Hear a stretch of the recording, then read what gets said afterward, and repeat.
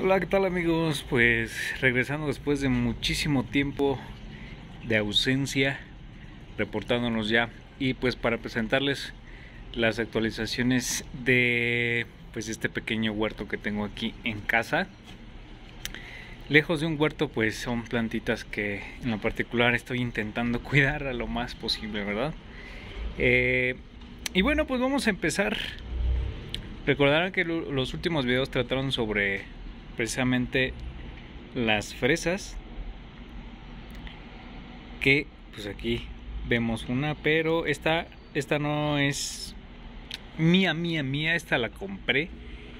Eh, venía un poquito más frondosa pero ahorita les cuento la historia de esta fresa vale pues eh, recordaremos que en el último de los videos eh, prácticamente estábamos hablando de las fresas y si en ese cierto vamos a hablar de las fresas y ven que aquí ya no tengo absolutamente nada. Aquí tenía jitomates o tomates como los conozcan en, en su país desde donde nos vean.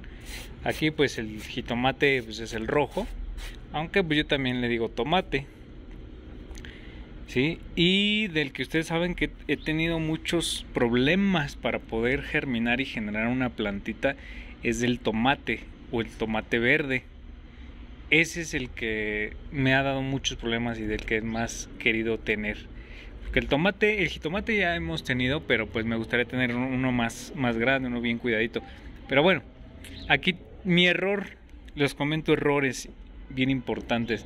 En un espacio tan pequeño, tenía como 5 o 6 plantas aquí y sinceramente igual este yo las las germiné aquí, o sea, hice unas hileritas y puse en manera estratégica, pensando yo, este, las semillas sí germinaron, algunas otras no.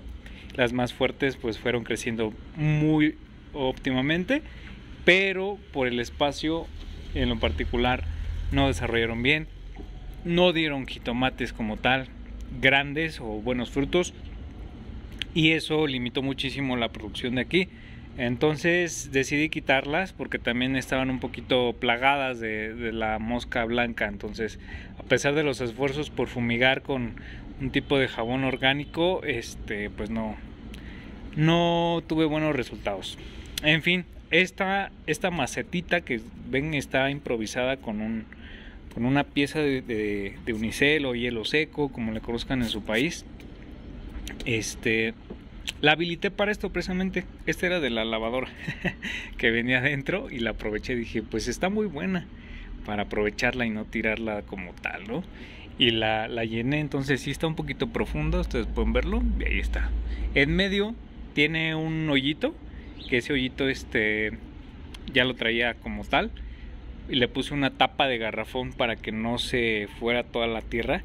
Y esa tapa de garrafón le hice unos orificios para que drenara el agua en exceso. ¿sí? Entonces, esta la acabo de reorganizar, digámoslo así, la aflojé toda la tierra y acá tengo tierra de sobra en donde he hecho prácticamente hojitas, todos los desperdicios, pero no tan de cocina. Ahora sí no los estoy ocupando para hacer composta, sino más los mismos eh, desechos, bueno, hojas que se empiezan a secar, las entierro, las dejo ahí y poco a poco voy humedeciendo para que se vaya descomponiendo la materia este la materia orgánica se vaya sumando a la tierra no y aquí este tenía tierra entonces lo que hice fue vaciar la mitad de lo que tenía aquí la aflojé con este pequeño este rastrillo y la mitad la llené con tierra de acá. Entonces esta por así decirlo ya está lista. Aparte casi casi a, a este nivel dejé de llenar y le agregué una capa pequeñísima de humus de lombriz. Este, amigos míos, es el humus de lombriz que acabo de cosechar hace no mucho, como una semana. Y miren, está súper esponjosito. De verdad que está muy, muy bueno. Pienso yo que es, es bueno, no digo que es excelente. Faltó pues darle una, una buena, ¿cómo decirlo? Tamizada, una buena tiernidad, pero bueno, eso no importa cuando se va a agregar ya. Y ven que está bien, súper, súper, ¿cómo decirlo? No se apelmaza, está suavecito. eh, está como arenosito, o sea, está, está bueno, la verdad es que, que sí, sí, me consta que es de, de calidad buena, regular, reitero, porque este es de lombricomposta, en donde alimentamos a las lombrices con puro desperdicio de cocina, ya saben, cáscaras de, de frutas, de, de verduras, etcétera, nada de comida, ni mucho menos. Y vean, por eso aquí tienen como algunas semillitas de, de melón, vean. Pero bueno. Entonces le puse una capita de, de humus de lombriz por toda esta superficie, esperando que pueda tomar un poquito más de calidad esta tierra. Ajá. De momento no voy a poner nada aquí a, a siembra. Me voy a esperar porque estamos en mero diciembre, bueno ya la última semana de diciembre y no voy a poner absolutamente nada, sino simplemente que madure el sustrato porque lo acabo de arreglar. Bien, en este otro, bueno, en este guacalito de, de, de, madera, así le llamamos aquí en México, los guacalitos de madera, estos en donde vienen las frutas, las verduras. Este le puse pues prácticamente un costalito y pues ya le puse un poquito de tierra y vean, aquí tengo eh, chícharos o guisantes, también les conocen así. Me sorprende porque, si recordarán, nosotros teníamos unas plantas de chícharos o guisantes en anteriores videos y este y no estaban tan grandes, ¿sí? Y las hojas estaban pequeñas. Y miren estas que precisamente empezaron a germinar cuando los fríos entraron. Eh, unas plantas súper grandotas, miren y me impresiona porque vean la, el grosor de los tallos. Las vainitas ya ahí vienen, miren. Las flores. O sea, se están poniendo muy... Se pusieron muy bonitas. La verdad es que sí me sorprenden. Y bueno, esto me da como tal certeza de que el, el guisante es de un tanto un clima fresco, frío, posiblemente. Y pues la diferencia se nota tan significativamente entre la cosecha, la primer cosecha que hice, la segunda y esta ya va la tercera.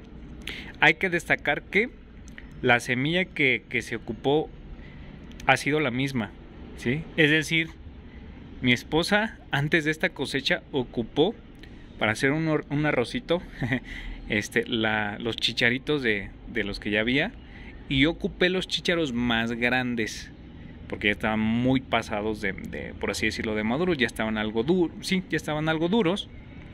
Los puse a remojar unos días, inclusive unos ya estaban enraizando dentro de la vaina.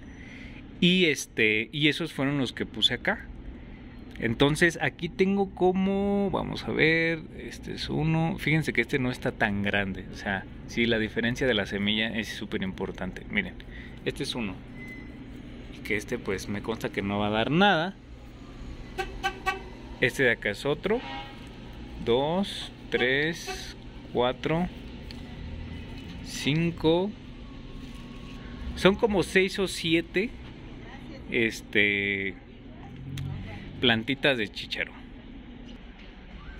Y bueno, pues este también con la sorpresa de que aquí justamente en un lugar por aquí este nació este arbolito este arbolito lo conocemos aquí en México como arbolito de Navidad. Y pues esperemos que... Sí, sí ha crecido, inclusive ya está dando otra ramita. Pero bueno, toca ver, a ver cómo, cómo se sigue desarrollando. Y lo, lo quise separar porque pues acá estoy moviendo mucho la tierra y todo eso. Acá tengo pues una cebolla. Esta cebolla, se pueden dar cuenta, tiene una cáscara que está ya prácticamente, ahorita lo voy a quitar. y pueden ver que sigue saliendo otra cebolla. Pues la primer cebolla se dio porque pues había una cebolla que no ocupó mucho mi esposa. Ya quedaba muy poquito, como una parte así, una rodaja grandecita y este se echó a perder. Entonces esa cebolla, bueno, esa media cebolla, esa rodaja de cebolla, la puse aquí y empezó a germinar. O sea, ya estaba casi podrida, pero bueno, las segundas oportunidades existen y, eh, y ahí se dio la primera planta de cebolla. Esa primera planta de cebolla me dio esta flor y dejé que diera la flor porque yo quería ver el proceso de precisamente pues de floración nunca había visto como tal una, una cebolla florear y este espero no tengo muchas esperanzas que aún así aunque no tenga la planta porque ven que acá todavía está verde y acá ya estaba seca dio como un tipo no sé cómo decirlo como un globito en esta parte así algo ensanchado un tallo muy largo sí medía este tallo como unos un tallo floral como unos 60 centímetros sin mentirles y en la parte casi media dio como un globito aquí y ya después seguía esto. Pero bueno el intento se está haciendo para obtener semilla de cebolla Así que pues esto es de la primer cebolla. Y esta cebolla como no extraje, de hecho de, de esa cebollita saqué dos cebollas pequeñas. Algo maltratadas porque en ese entonces se vino una granizada y bueno, pues sí golpeó bastante las cebollas. Pues en definitiva no, no, no, no, este, no fue unos frutos muy grandes, unas cebollas muy grandes, pero bueno, se cosecharon dos cebollitas como de este tamaño así. Y este y dejé la cebolla principal que tenía el tallo floral y pues fue lo que ahorita acabo de tirar. Sin embargo, siguió la planta de cebolla aquí. Vean, esta es ya la segunda planta de cebolla en el mismo lugar que se da. Literal. Bueno, esa es la historia de la cebolla. Acá tengo una planta de papa que está pues igual, pues se dio porque, se, porque dejé aquí la, la papita, es una papita de recosecha. Miren, por aquí se van a ver sus raíces. Vean. Ahí está. Entonces empezó a darse el brote y pues aquí está ahorita. Aquí está ahorita y pues la voy a dejar que sea su voluntad, literalmente. Estas literal quiero que se mantengan de pie lo más que se puedan, pero no, ya se vencen solitas, ya se están venciendo solitas. En fin, pues hasta aquí la historia de este guacalito. Bueno, estas ávilas de mi esposa, o la regaló una de nuestros familiares. Bueno, vamos con la historia de esta fresa. Esta fresa es comprada. La compramos en un vivero y cuando la adquirimos ya traía una fresa bastante grande, como de este tamaño. Misma que tuvimos que aprovechar de inmediato. Eh, más bien mi hijo la aprovechó de inmediato porque eh, le gustan mucho las fresas y se la comió. Ajá. A pesar de que tenía, bueno, está una planta muy pequeña, da frutos muy grandes. ¿Sí? Entonces, si se dan cuenta aquí tenía este tallito donde precisamente esta es la segunda fresa que dio de un tamaño muy grande. Esta es la tercera fresa que dio de un tamaño muy grande y todas pues se las ha comido mi, mi niño porque le gustan muchísimo las fresas. Entonces, seguro, seguro tres fresas ya dio. Esta es la cuarta y esta es la quinta fresa. ¿Sí? Son frutos no muy grandes eh, este y este, pero los primeros tres los dio bastante, bastante grandes. Em, tenía poco, poca tierrita y le puse un poquito de humus de lombriz y una capita más de tierra a ver cómo se recupera. Entonces, vemos a ver qué sucede con esta planta. ¿Sale?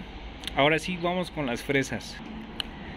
Amigos, pues estas son todas, todas las fresas que sacamos de las semillas.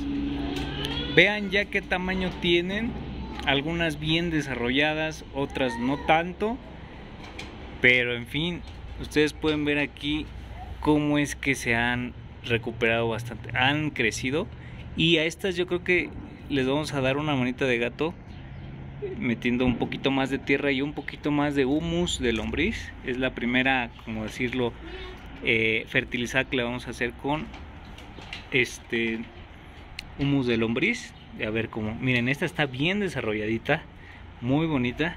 Y aquí ¿qué pasó? ¿Por qué se ve tan frondosa? Porque aquí es en donde inicialmente germiné las semillas de fresa y ustedes pueden ver que hay una fresa pequeñita aquí, aquí hay otra, aquí hay una más grande y por acá hay otra y bueno, ahí acá hay otra más chiquitita. Entonces esas pues obviamente las pequeñitas las vamos a eliminar. Y las... Aquí, aquí está otra, perdón. Aquí hay otra fresita yo arrancándola pensando que era una hierbita mala. perdón, perdón. Pues vean, algunas con buen desarrollo, otras un poquito lento, pero bueno. A estas tres que están aquí, les se les decoloraron sus, sus hojitas, le hicieron como rojas, y a todas estas nada.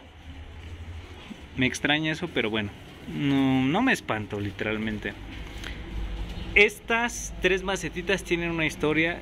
Esta es una planta que desarrolló, es la primera planta que se desarrolló muy grande y dio su estolón y este estolón dio su estolón. Desafortunadamente, pues aquí como ven otros vecinos no tuvieron cuidado, pisaron esta macetita y cortaron el pues el estolón que los comunica, pero estaba así literalmente pegadito los tres, así como los ven. Fue algo sorprendente, yo la verdad no lo podía creer, cómo es que un estolón dio otro estolón y así, pero bueno, pasa y lo estamos viviendo. Acá tenía un hueso de mamey que de ese ya no pude sacar video amigos, se los debo. Pero bueno, ustedes pueden aquí ver este que el mamey está tratando de crecer, todavía está verde. Y ya tenía las primeras hojas, inclusive aquí pues ya tenía su brotecito, pero pues un accidente que este que pasó que prácticamente se le rompió el por así decirlo el brotecito de las primeras hojas y literalmente no sé si se va a recuperar, pero pues no me quiero deshacer de él hasta las últimas consecuencias porque todavía está verdecito, ahí se puede ver prácticamente cómo está verdecito. ¿sí? Este es un cítrico que igual no hemos podido recuperar. No sé qué sea, no, si es no sé si es perdón, limón, eh, mandarina, naranja, no, no, no lo sé literalmente, pero igual no, no me deshago de él, o sea, literal. Mientras no se seque, seguimos haciendo el intento por salvarlo. Igual yo creo que le vamos a aplicar un poquito de humos de lombriz a ver cómo reacciona y este y ver si hay progreso. Bueno, en cuestión de las fresas, literalmente espero que este próximo 2022 empiecen algunas a dar fresas y si no dan fresas, pues a dar más estolones. El chiste es reproducirlas y tener este fresas a full. Alguna plantita dará fresas y es el objetivo de esto, ¿sí? Pero algo bien importante que les comparto como experiencia personal. Ustedes vieron que en videos anteriores yo tenía plantas de fresa y plantas de fresa y eh, la última vez que compré una planta de fresa pues precisamente es esa de ahí. Pero que algo que sí les puedo hacer sincero en este rubro. Si quieren una planta de fresa y no han tenido la suerte de poder eh, de algún modo mantenerla viva, de mantener las buenas condiciones, yo les recomiendo que germinen sus propias semillas porque se van a, acostumbrar, se van a adaptar a las condiciones en las que las van a tener. Y vean, estas semillas, estas plantas que vienen de semillas, al 100% las he cuidado aquí y no he tenido problemas. Tal cual las plantitas de, fresa que salieron, algunas se secaron, pero bueno, o sea, son pérdidas mínimas. Sí puedo decir que, que en este caso salen plantas muy fuertes, muy resistentes a cualquier cosa, literalmente, porque aquí ya está haciendo frío y algunas heladas han caído y vean, no les pasa nada. Entonces, eso me da ya como tal la certeza de que vienen un poco más fuertes las plantas de semilla que, de un estolón o de una planta comprada, porque una planta comprada pues viene de vivero y veamos que la diferencia es grande entre esta planta que viene de vivero, que no tiene muchas hojas, sin embargo ya está dando frutos y todo eso, pero bueno, lo importante acá es la salud de, de las mismas plantitas para que se adapten muy bien y pues el objetivo de cultivarlas y que nos den frutos pues sea ese objetivo alcanzable ¿no? entonces moraleja si no se les dan las plantitas de fresa les recomiendo que puedan generar sus propias plantitas a partir de semillas es lo más práctico si ya están hartos de que se les sequen, de que se les pudren las plantas compradas de viveros, es lo más óptimo y ustedes lo pueden estar viendo aquí ya materializado después de cuánto tiempo después de que subí los videos de, de germinar, de cómo obtener las semillas, cómo las estratificamos, cómo las preparamos para germinar, la germinación y pues prácticamente el proceso de selección, de, este, de separación y el crecimiento el riego y los cuidados pertinentes y miren, aquí están presentes. Por último, amigos míos, este, también saben que pues yo soy muy aficionado a los frutos rojos. En, este, en esta parte yo tengo una zarzamora y una frambuesa. Con la frambuesa no he tenido mucha suerte.